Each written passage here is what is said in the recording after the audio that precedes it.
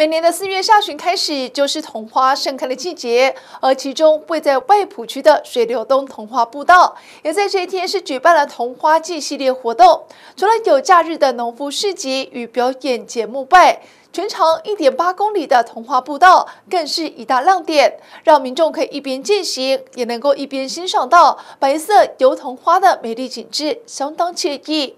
而主办单位表示，预估整体的花期可以维持到六月初。众人按下汽笛，宣告台中桐花季在外埔区的水流东桐花步道正式开跑。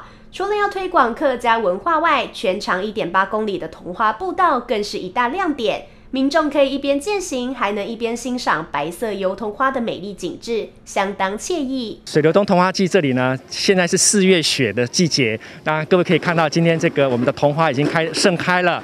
那沿整个山哈，整条路上都可以看到这个啊桐花片片，非常的美丽。这个地方它是有很多生物多样性，有很多原始原始林木的地方，又有风水地理上的结界的气场哦，所以越走精神越旺，越走精神越好。每年四月下旬开始就是油桐花的季节，尤其五月最为盛开，又被称为五月雪。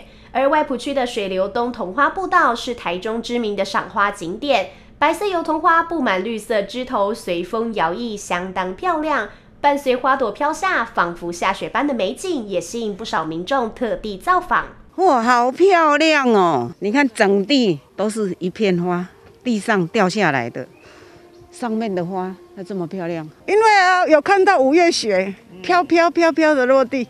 很漂亮，这样比较可以疏散一些那个 郁闷的心情。因为你待在家里，就是待在家里嘛，要出来走一走，看看花，哎呀，然后那个我们不要跟人群触碰就好了。